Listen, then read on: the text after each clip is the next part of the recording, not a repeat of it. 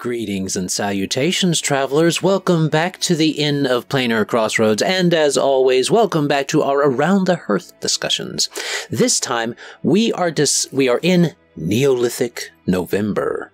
So, if you ever wanted to play cavemen or, you know, like those with the dinosaur type period and stuff like that, and go full on type of that thing, full on Dinotopia or something, uh, there we go. We're, we're in the right month for that. So, we're going to be talking about that. This first chat is going to be an age undreamed of. And if you know the reference, you know the reference. But uh, we're going to be going over that. Before we do, let's go ahead and get into announcements. Um, as far as announcements from me, we'll go me and then Dan and then Scrat. So, um, far as announcements for the Inn of Planar Crossroads, this is November, so we should have just finished up you might be seeing our epilogue for the Adventure Academia. And this will be Adventure Academia's fourth season. There is only two more seasons, I think, before we decide to uh, start back over and then rehash through, but refine them. So this first time, I didn't worry about getting art. I didn't worry about getting anything like that just getting the words down. So we'll go back through, start to retool some of the wording, start to retool things so it'll be a little bit easier for you to slide your own people in, maybe. We'll have to see. Um, but that's the idea. Uh, that'll be finishing up. And like I said, we'll keep on doing our live streams uh, to. Because there's still always more work we can be doing on the the stuff here on the Inn of Planar Crossroads, so we'll still work on it. That'll be the plan. I think that's everything as far as announcements. You can always support the Inn of Planar Crossroads uh, by visiting innofplanarcrossroads.com or theiopc.com to find us. And all of our support links are there, all of our social media links are there, all that you need. But you can also support another content creator, Dan from Avenue Studios. Hello, everyone, and I'm here with my wife, Kristen. Yay, she just made it. uh, well, welcome, guys, to Around the Hearth. I'm really excited for this one because I don't know a lot, so I'm hoping to learn stuff. but uh, we are in this theme collaboration uh, with the Inn of Planar Crossroads. Avenue Studios uh, forges a one shot in a live stream on our channel, and then we play it with some of our supporters at the end of the month. So you can join us for that. We are now live streaming exclusively on Rumble so you can join us over there. There's a lot. Uh, we're kind of experimenting with that and uh, just moving all our live streaming over there. Of course, all the videos are uploaded afterwards, a few days later, to YouTube as well. But if you want to be a part of the live chats, we're over on Rumble. So check us out there. And of course, I upload to all of our all the podcast apps as well, Spotify and all that good stuff. So join us there. And if you want to become a part of the Ever Growing Forest and become a part of play in the game that we will build based off of these discussions tonight. Uh, join the Evergreen Forest, the locals of Patreon for us. And we have fun. And of course, don't miss AfterQuest, our uh, fifth edition game we're doing right now in Waterdeep, Nobles of Waterdeep, on Wednesdays, 6.30 p.m. Eastern. So I think that's it. Oh, I, it'll have already happened by the time you're watching this, but we had, I'm sure we had a great movie night with Adam visiting because he'll have already been returned home, I think, by the time this goes up. But it'll be pretty awesome over the garden wall yeah. every Halloween. yeah. Well, it's technically the 29th this time, so that's ah, when we're ah, doing yes, the Halloween. Right.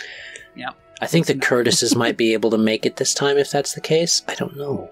Yes, don't know yes, because they usually take off and disappear.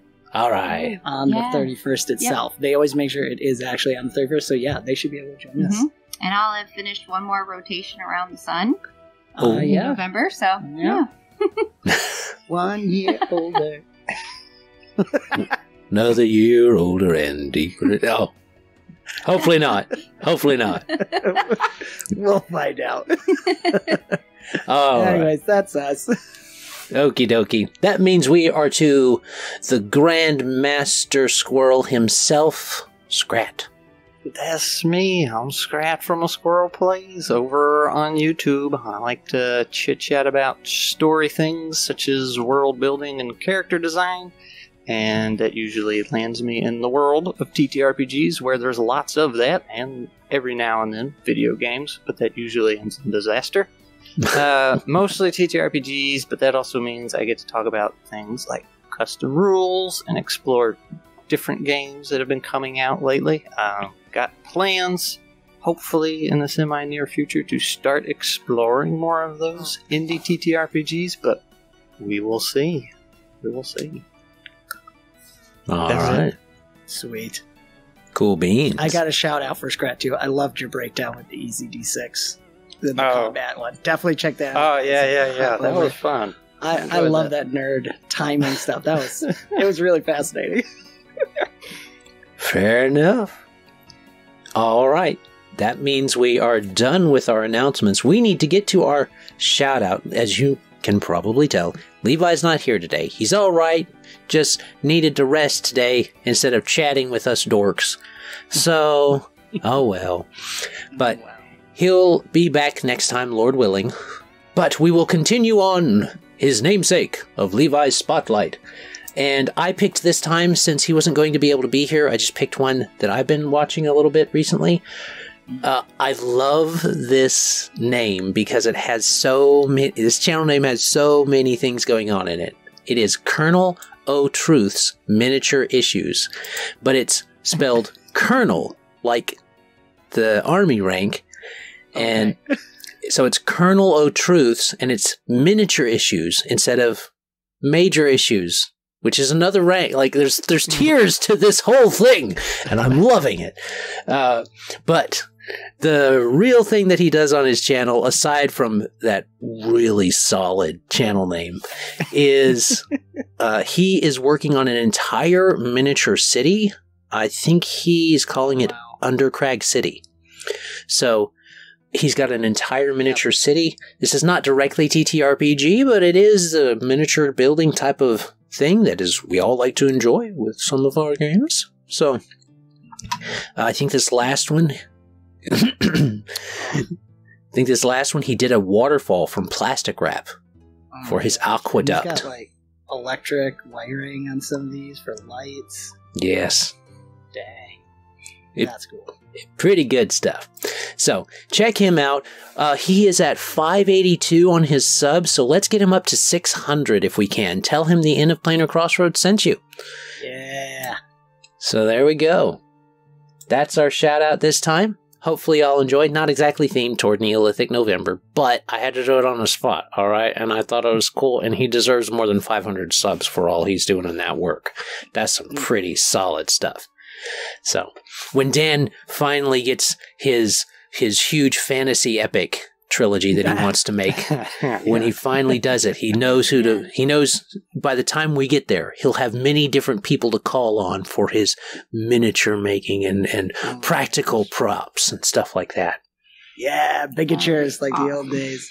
Yeah, That water, I'm just seeing clips of that waterfall thing. That's insane. it's Yeah. pretty good. And to do it with just plastic wrap and then, you know, other things to go along with the plastic wrap, but the plastic wrap, that was pretty good. Still, wow. All right. Well, that means our spotlight's done too, which means our announcements are done, our spotlights are done. So now it's time to gather around the hearth. And you can join us with your preferred beverage as we discuss Neolithic November's An Age Undreamed of. Skål. Nice. That was satisfying. Now the thing is, unless he finishes that, unless that's finished by this He's next got round one, yeah, he's gonna. I don't think I can get through four of these. So Tell you what, though, I got, I got this though. I'm, I'm ready. Yeah. Uh, oh, that's my ancestor. all right. I see the family resemblance. Okie dokie. Let's do it. So, we're going to do like we usually do establish some base notes, some things to get the, the gears moving, and the creative juices flowing. And Kane actually put forward some points since he couldn't be here. He put forward some points, and we're going to introduce those as they apply to the specific subjects. So, I'm going to go through our different things here. I think one of the first things you're going to have to decide is are you going to have magic? That's going to be a thing to decide in this age I'm, I'm dreamed of. What age you're picking? So you have um, your Neolithic age. You have your what? It's called Neolithic November, but you have your basically your Stone Age, your your Bronze Age, your Iron Age, those type of things. You have your met, your Stone and Metal ages, and you're going to be kind of picking through those. Once you get past those, I suppose you could go into early ancient Rome, but you're going to run the risk of starting to get that medieval feel. So, the closer you get to ancient Rome, the more medieval it's going to start feeling. Simply because a lot of t- there was a lot of technological boom in the Roman era Mm-hmm. that happened. And then after the Roman era, everything kind of slowed and then it picked back up during the uh, Renaissance and stuff. So there's this like lull period right there. They call it the Dark Ages. It wasn't technically dark. There was still a lot of things happening technology wise, but it's it feels a lot more similar because everybody was still looking back towards Rome uh, and looking at Rome as a guide or as a an inspiring thing. So a lot of things center around that Roman era. So you're going to be pre-Roman. You're going to have be pre-aqueduct, pre all that type of stuff. You want to pick an age. There's the prehistory, which is the past up to 600 BC. That's where you're playing in. The well, even that 600 BC is a little early. But you've got your Stone Age, which is if you go by evolutionary timescale, 2.15 mil BC to 3000 BC. Bronze Age is 3000 BC to 1300 BC ish. And then Iron Age is 1300 BC to 600 BC ish, which that technically would include the Roman Empire, which is why, um, well, that wouldn't necessarily include the Roman Empire. No, not at BC, it wouldn't. So, you're still fine there. But after that, you do start to get into those Roman age, those other ages, empirical ages, as in empire ages. And those can be a bit fuzzy because you have a lot of conquest, chariots are happening, stuff like that. Um, the another point is well, actually, I think I'll we'll go with Kane's point number four before I go into this uh, these other points here. So, what's Kane's point number four? Kane point four: the lack or relative slowness of any existing information network mean to me, being Kane, that most of your adventures would be more about saving, empowering, defeating direct threats to your community, as opposed to saving the world or the plane. Your immediate community is also likely the only thing really keeping you alive in an otherwise very unforgiving environment. Very true. So you have very personalized stories. Mm, Um, when we get into discussing that a little bit more, we'll go into some really good themed type of stories that would go good. Hmm. And that leads into a point I wanted to make along with his point was that y- most of the combats are going to be about avoiding death rather than. Uh, so people run away a lot more. Morale is going to be I want to survive. Um, even conflicts between armies at the time, or in this case, it would be more like tribes or large clans at the time are going to be like, yeah, they'll fight and stuff, but no one's going to chase them the 15, 20, 30, 40, however many miles it is between these two villages that are fighting. So there's there's that there's the the relative abundance of just resources you can eat off the ground like the hunter gatherer portion of that you're not having to be settled as much so there's that to think about. And you can Mm. you can kind of play with that in your game. Um, for those who don't follow the evolutionary point and then they go towards the biblical standard or younger standard of what it is it'd be kind of cool to play either right before the flood. You wouldn't want to play during the flood because you die but uh, you would want you could play right uh, you know a few centuries a few generations before the flood because um, if you read the scripture and you look at it they say that's where a lot of that's where the angels came down mixed with the race of men by breeding with the ladies, and they made men of great renown, I think that is. And it talks about that being where our legends come, where a lot of our legends come from. Those legends about people with abilities and strengths and powers. So that would be pretty cool. That would be pretty cool. Just letting you know. Mhm. And then there's also the post flood. There's only eight. Everybody's related. You, I would probably put a shit out towards Tower of Babel type of thing. But imagine that playing a game where you're the migrating peoples from the cradle of civilization. You're the migrating peoples out from that, and you do this whole Wedge March campaign across the Bering Strait down into the Americas, or up into Gaul, or down into Africa, or all of that. That would be pretty cool. So, those are some some points to get our juices flowing. And for those of you wanting media recommendations, there's a wide range. I'm going to throw out like clan the clan of the cave bear. I haven't watched it, but I've seen clips. The aesthetic is very much on track, as well as some of the concepts and the idea uh, with their communication. I was watching a few clips, and with their communication, they also incorporated hand motions and those type of things. Sign language was part of the language rather than being a separate thing. So that's something you could also incorporate into your game. There's the Netflix, I think it is, Primal. Uh, it's by a Scandinavian creator. I can't remember his name right now. But Primal is an animated one, and it is it's bloody and it's tough and it's about this basically caveman and he uh befriends I guess you would say a T-Rex and they have adventure. Like bloody adventure, rah. Uh, metal adventure, so you know, because it's from Scandinavia.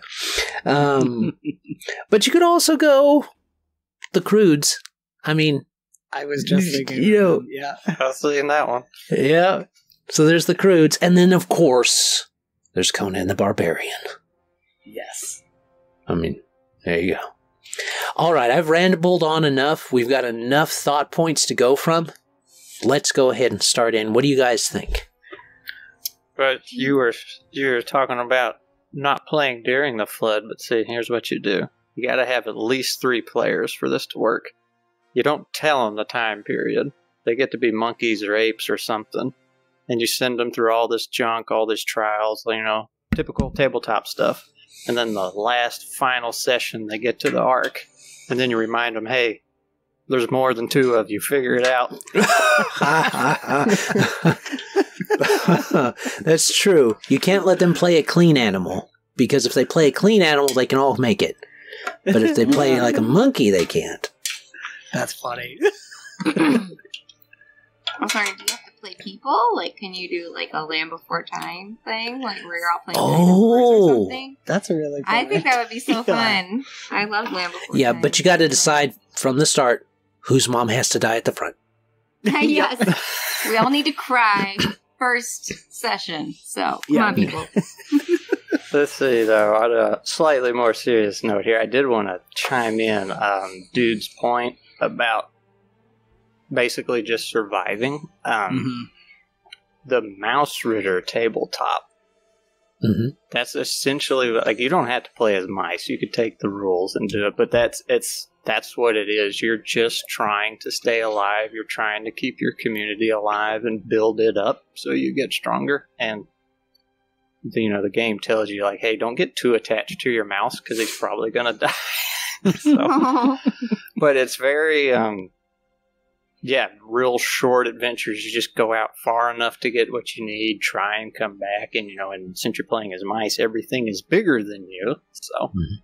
i feel like it would play that rule set anyway would play very well into a stone age kind of thing Mhm. because um, not only is it just the colony trying not to die and all that, like for the rules of the game, like everything's very makeshift. Like all your equipment has durability. Things are constantly breaking. You're constantly scavenging for stuff to make ends meet. So seems like it would work well with the idea. Yeah. Yeah, that's great. I was also thinking like SWADE, Mhm. right? Wouldn't it lend itself to that? Where like everything, It's a little deadlier. it's a little deadlier, generally yeah. speaking. Mm-hmm. System. Pff, That's what they say. I watched I Joel's know. live stream. Well, it was deadly for the bad guys. It's the only system I roll well in, so I'll take it. it's, it's true. It's a swingy system because all di- all dice are exploding. That's what it is, really. Like, Mm. things can happen suddenly, but you have the wound levels too, so it creates that sense of yeah. urgency. Damage is actually a little more serious than, which goes back to the also deciding whether you have magic or not too, Hmm. That is a because that could. thing. There's so many options. I don't know what I'm feeling like. Is there's so many options with this too? Because I was thinking you could also you don't have to actually set it on Earth. You can take any of these ideas we're saying, just move it to a different planet or world, Mhm. um, and it either you're doing something like the Croods or even Land Before Time, which depending how you take Land Before Time could be pretty dark. depending on your view. But it's like the setting allows for so much stuff because I was thinking, like we're joking about the flood, but that's like true apocalypse almost, like Mm. harkening back to our apocalypse discussions. Mhm. It's you could. I also get vibes of the western too, in the you know wild frontier, going out and exploring, just trying to survive the personal story of you and your group. So I, I, I don't know. It's I'm always have that question, I don't think there's a, a right answer for it. Of where do you start when planning your game? What what is it that you're starting with that you're interested in, and that I think will help you pick which channel you want to go to. Right. Right. I think with if you're gonna so to tackle the magic thing, if you're going to pick, you're always going to have to pick a an age first, because even with with uh, Conan, you're looking at Bronze slash Iron Age. That's what you're looking at. Um, but it's important to to know that the Conan books are sent in set in Pangea. Well, technically, it would be Pangea. I mean, that doesn't work out if you break the continents apart like that. It doesn't work. But in in in the ideas of a prehistory and stuff like that, there are, if I remember right, there are literal lizard people in Conan. There are literal demi-human type of not quite human yet people mm-hmm. in Conan. And you have all of these different things. And the serpent people are dead already. Like their civilization is gone. And Conan comes upon ruins of their civilization. And and things like that. And even coming across civilizations that were human that are fallen away, like city states that have fallen into decay and are just bound in this infighting now. It's really something that lends itself to. There's a reason that Conan and other sword and sorcery books were such an inspiration on D and other tabletop fantasy games, and just other fantasy in general, because that really does hit in on some things that are very familiar to the human psyche. And when it comes to magic, you're winning it back around to that. If you're gonna have magic, I told Scrat this when he was wanting tips on how, to do it, do a one shot. Make it. If you're gonna do magic, uh, and Kane said, I think about it not uh, magic being um, Oh, I've got it. Point number one. point number one. Let me see. Uh, Magic should be religious. Yeah, we'll go ahead and do that point now. So what's his point on it? Sure. Kane, point one. All magic should be religious in some fashion. If magic is present and going to play a role in your story, it should be it should be viewed as or is the direct blessing of a higher power, or it is treated as a direct path to becoming a deity. My presupposition for this being that there aren't enough effective means of studying, storing, and bequeathing arcane knowledge for anything resembling a traditional wizard to exist. And I would halfway agree. I think Mhm. there again is that consideration of like Conan.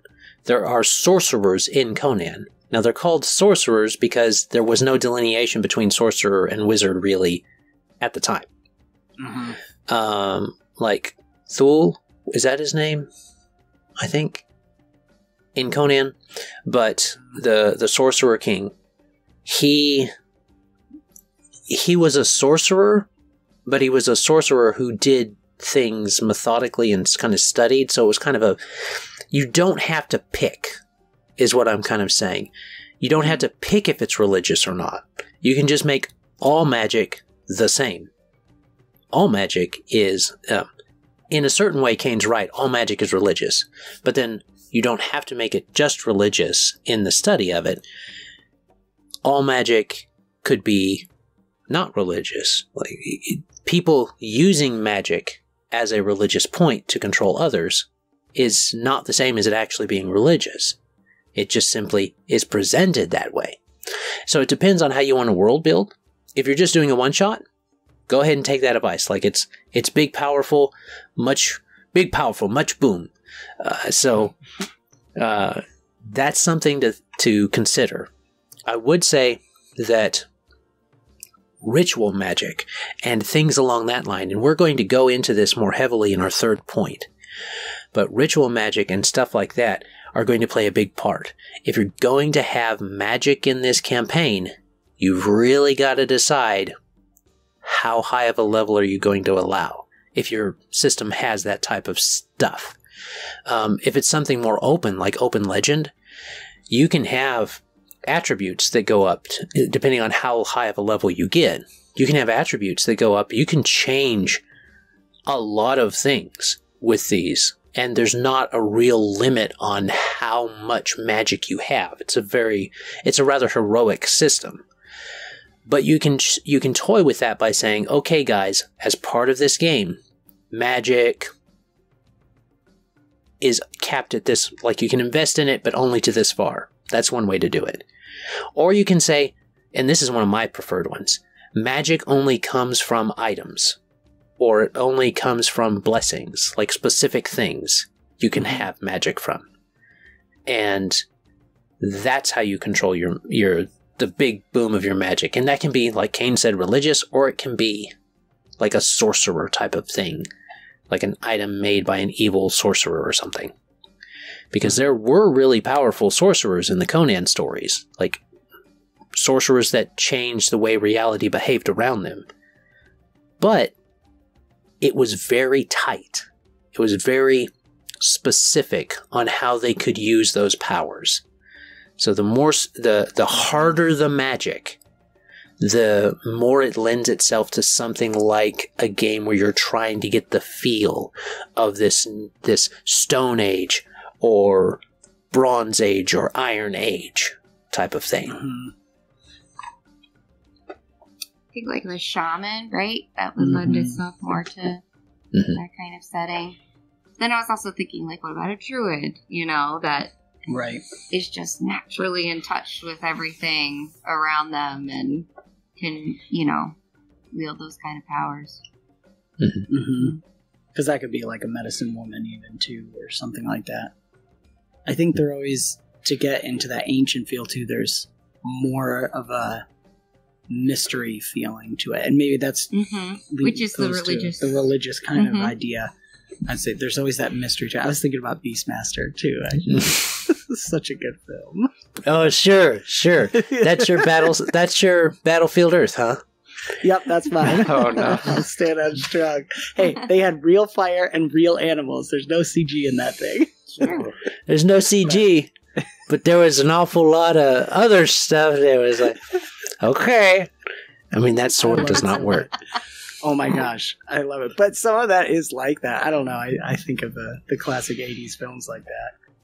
Just Mhm. there is this mystery, and usually I would think a lot of it. The more powerful magic, there's always a cost too. Mhm. It's usually the bad guys that have the most powerful because they're willing to pay that price. hmm To corrupt it. Yeah. Right. But then I also thought about too with magic. There's this that cool thing of like it. It's not quite magical, and this kind of goes to like Conan and, and Beastmaster and that kind of stuff too. Is that the good guys? It's just out of what they do because they're so good at something that they start to hit a magical ish level where it's not really like they're casting a spell or something like that, but they seem blessed. But it's never specifically said like by someone or you just you're that good. You it's, almost like the pugilist sort of idea that if you train hard enough, you get to like magical levels of ability. Um, I don't know. I always think that can be a nice way to do it too. Or um, like Brother Bear, where you change into an animal kind of thing. You know, I think Yes. it's kind of cool. Like everybody Oh, yeah. becomes their spirit animal. You know, so that's a little Spirit bit of a would good. magical. Totemic magic. it. Yep. Yeah. Well, that that makes it a very specific magic. They each have a Right. specific thing they can do. So, yep. And for those of you that have been watching um, the Adventure Academias, Devereaux the Druid, he is a wild shaping druid, but he only has four forms right now. He only has four forms, and they're based off of the constellations. So, those are the things he can do and he can change into those forms. Technically, alteration lets him change into any form that he could, well, at his level, he can change into almost any form he wants to and gain the abilities of it. But the I put the limits on there. And so you have to be aware of that with those open systems. And that totemic magic can do that.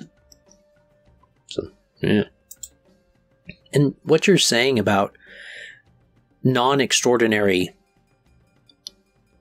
attributes and abilities becoming mystified is something that even the sorcerer in Thul, Thul's, Thus, Thusadun, Thalsadun, Thulsa? Doom, Yeah. T Thalsadun. H U L S A. Yeah, I, I got there eventually. Thalsadum. Uh, he kind of alludes to that in the when talking to Conan and says, "What's the riddle of steel?" Flesh is the answer to the riddle of steel. You know, steel does nothing without the flesh, type of thing, or the flesh makes it all move. and so, in that, his biggest he had magical abilities. He was shown to be magical.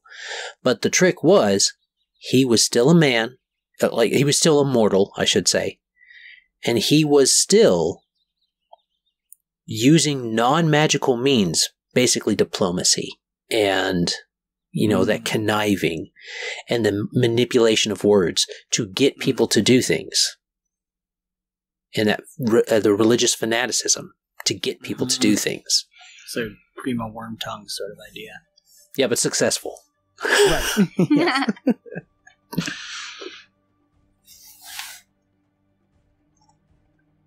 Of course, you don't have to go dark. You could go like we've been discussing. You could go like the Croods. You could go like Yes. Brother Bear.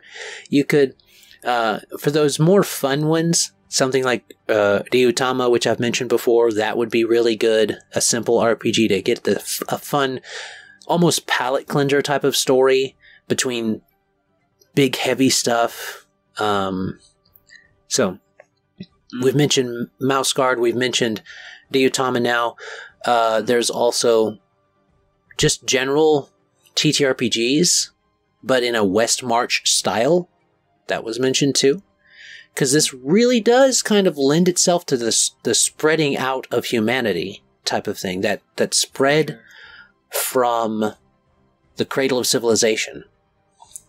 So Yeah, I wonder if I'll throw out with that that I think this is such a broad. It's got so much possibility, and it's almost more of a, a setting flavor to it. You really got to decide. I think one of the first things to decide. Correct me if you guys think I'm wrong. Is what kind of story you guys want to tell at your table, because I could totally see just a pure, like Skrat was saying earlier, pure survival sort of thing, just going down every day. It's just like, can we get enough food? Can we harvest enough? Can we hunt?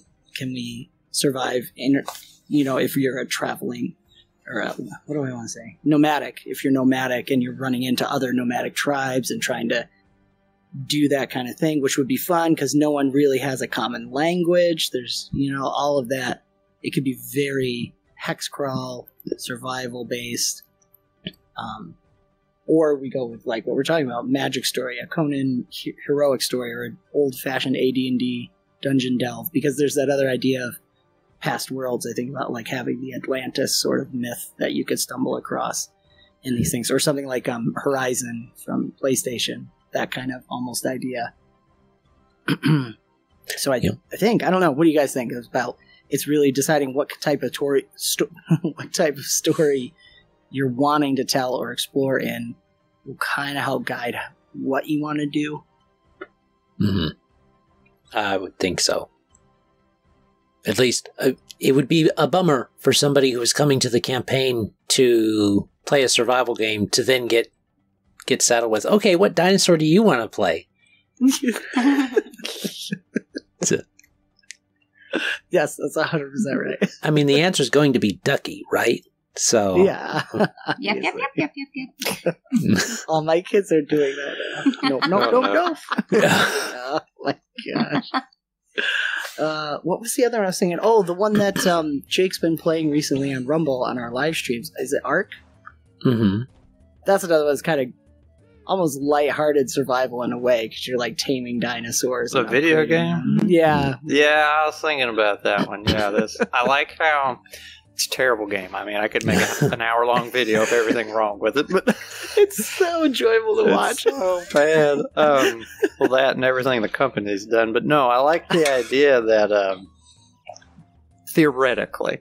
Now they obviously didn't pull it off very well, but theoretically, all the different dinos and whatnot that you get, they Mhm. have different functions, like different purposes you use them for. Like one's really good at extracting metal out of the metal nodes. One Mm, get you bonus amounts of stone. One will get you bonus amounts of wood and all that stuff. They have their little different functions. And I like that concept, but like everything Mhm. else in that game, it didn't work very well. I found it hilarious. yeah, no, it's it's it's an experience. yes, that's, that's the perfect way to describe it. Fair enough. They they may have caught one dinosaur because there's a physics glitch, and then they just built an entire house around it so it couldn't do anything, and then they tamed it. yeah, that's what you do. I mean, okay. And that's kind of what they did. So it's not wrong, but right? I mean, it's not right either. So, uh, but that's is that is something you can decide you want to do if you want to. We'll get into. I think we'll get into that a lot more in number four, Chad. The idea of the big beasties and what you want to do with them, especially if it's got magic in the world. So that should be fun. Um, let me see. What are we at? I'm. I failed to look at what time we started, but I'm pretty sure we're pretty close to our 30 minute ish mark. So let's go ahead and do final thoughts. I'll start us out, and then you guys can kind of give your thoughts before we sign off. So, my final thought is probably going to be that don't be afraid to to not adhere completely direct uh, completely to the age that you pick because it would be really hard to expect your players to only use tech that's from the stone age when we live in the information age and we just have access to knowledge about a lever and a fulcrum and stuff. So don't fuss at them too much. In fact, they could be the ones in that world that that that, that do it or something. Maybe they're the smart cavemen. You know. so maybe that's the case. Uh, and also, uh, and that's if you're following like a, a more evolutionary standard. If you're not following an if you're not following an evolutionary standard, or if you're doing some kind of creation type of myth in your game, then you don't actually have to limit a lot of the tech that they have because they're going to be limited by the materials they have access to. Because uh, it's an overlooked thing. Uh, I'm using the Bible as a reference because it's what I have, what I'm most familiar with. But even in a a fantasy world where the gods just created these new beings that were intelligent. If they're created perfectly, then they're going to learn real fast. They're going to have really strong bodies. They're going to have really strong brains. They're going to be able to do things we can't today. So you're playing Superman. You're playing the, the best versions of that species. So it doesn't matter if it's elves, it doesn't matter what, right? If you're playing in the creation and there's a, there's a benevolent deity that has made them, they made them correct. And they are perfect as far as that deity is concerned. If you got multiple deities, they're going to be picky about certain things.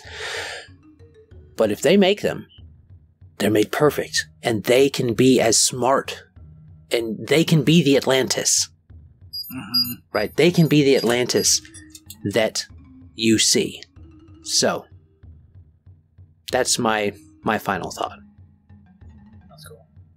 That's cool. All right, let's go to I guess we'll go to Dan. We'll give Skrat some more time to think.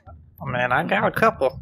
You do? Really? Okay, Skrat. Yeah, Yeah, yeah, I'm ahead this time. So I got I got two settings for you here. So the first one. Has anybody seen Early Man? No.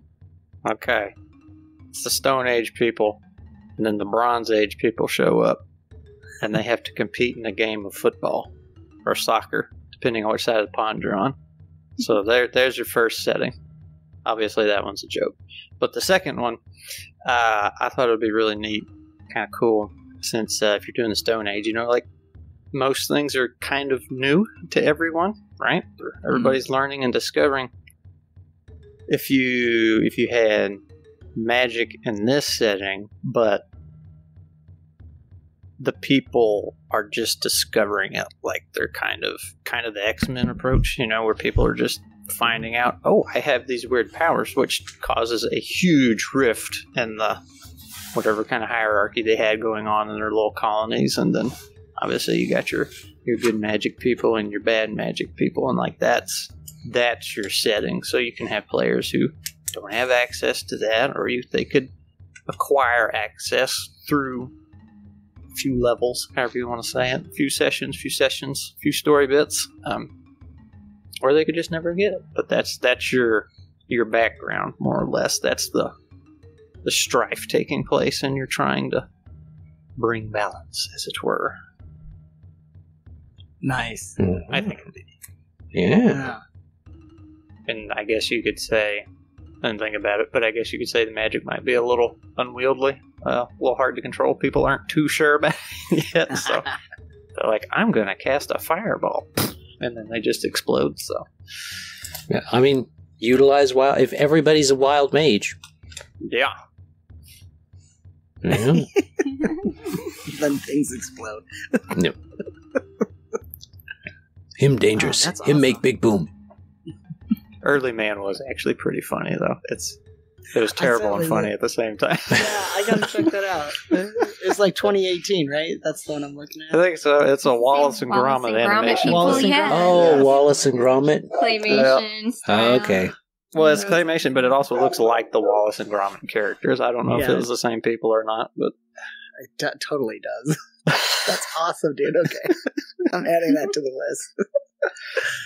Ah, man. Um, I think my a general final thought, and then I had a brainstorm idea that I'll probably turn into a brainstorming short. I got to write it down later. Uh, but the general thing I think is what I mentioned before of think about the story you want to tell. Of course, talk with your players and figure out what do you want to do. Because this is a, I think, at least this might be anecdotal, but an underutilized setting of early times, or maybe it's something we've pulled away from in the these later ages, if you will, of D and D and role playing games in general. Um, so it's kind of fun to get back to this sword and stone sorcery and stuff. Um, but talk to your players about what do we want to do because there's so many options to do in this setting. You can basically do anything, but it's going to have a very unique feel to it, setting it in these quite a large swath of time, and um, it's so easy to twist it and make it into things. And then, real quick, but and I'll probably make this short too, is the idea that this it's a Stone Age game, but you guys are the awakened AI bots after humanity destroyed itself, and you're reestablishing. So you're mixing trying to make the world. mixing the post-apocalypse from last time with the uh, Yeah, with the Stone Age. Well, see, I had some similar thoughts when I was thinking about this before. Maybe not the bots that wake up, but like you start finding old temples and stuff that have some high end items in them, and then the players can realize, wait a minute, there was a world before us. We're the aftermath. So, yes, hmm that's Uncovering that's that such a fun way to mystery. do it. Yeah. Mhm.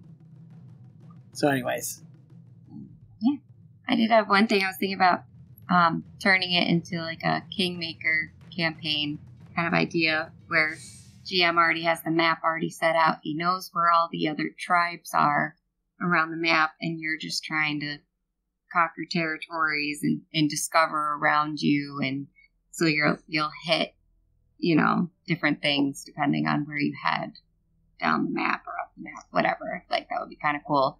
It's Mhm. already preset, you know.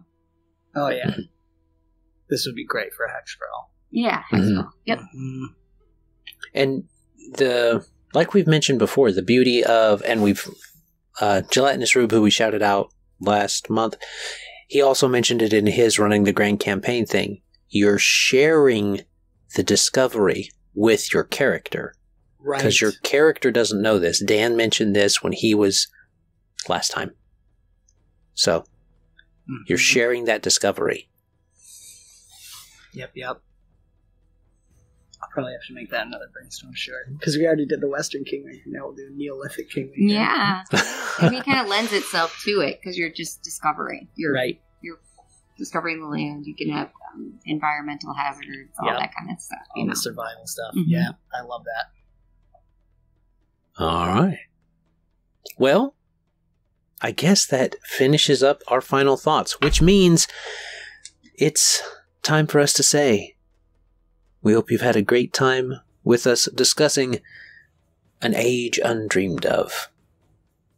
Do check out both the Inn of Planar Crossroads and Avenue Studios on Patreon, subscribe, uh, Patreon locals and such.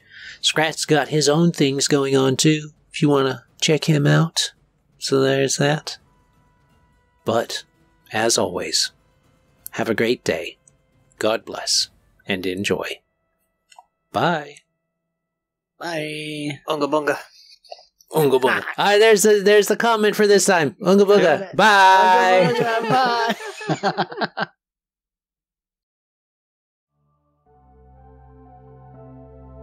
This content was made possible by travelers and viewers like you. Thank you.